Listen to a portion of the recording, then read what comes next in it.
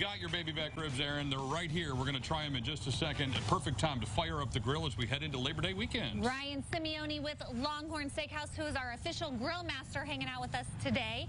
So our baby back ribs, they're on the grill, all basted up with some They- great barbecue They are sauce. ready to go. So Is there a nice way to eat them, or is it just tear into clean. them? So first thing, get them off the grill without breaking them. You want long tongs like this Okay.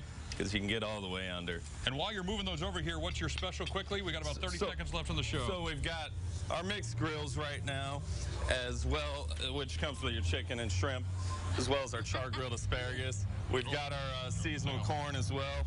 What you're looking for with ribs once they're coming off is just to be able to barely push on them, and you see them just come Fall apart. apart. And I don't really need a knife. We can just.